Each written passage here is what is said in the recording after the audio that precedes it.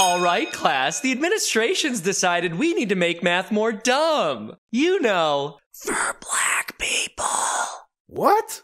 We noticed black students were falling behind, so we've decided to change the definition of the word behind. Makes them feel a bit better about being black.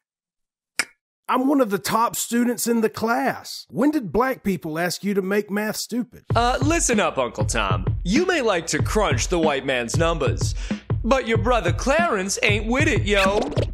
Am I reaching you? Get your out of here. Yes, sir. I told you that blacks just ain't capable of the things white people is. That's right, very good. Now listen up, students and homies. First question. If I go to the store and buy 300 basketballs and give away 32 of them, how many do I have left? 268. 268?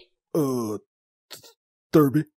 Um, Thurby. That's correct. Uh, Bob, would you mind toning it down?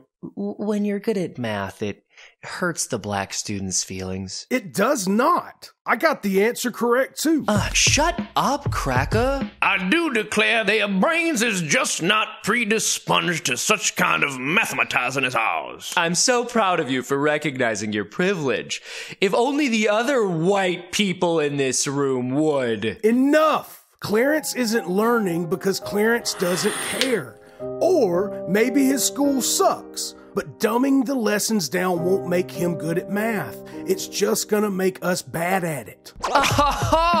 we got America's favorite cookie over here, huh? Regular Oreo, black outside, white inside. Do you, do you approve of me? Does the black community approve of me? Do I have your approval? Approve of me? Would you approve of me? Approve of me? Appro- do you approve of me? Please approve of me? Please approve of me?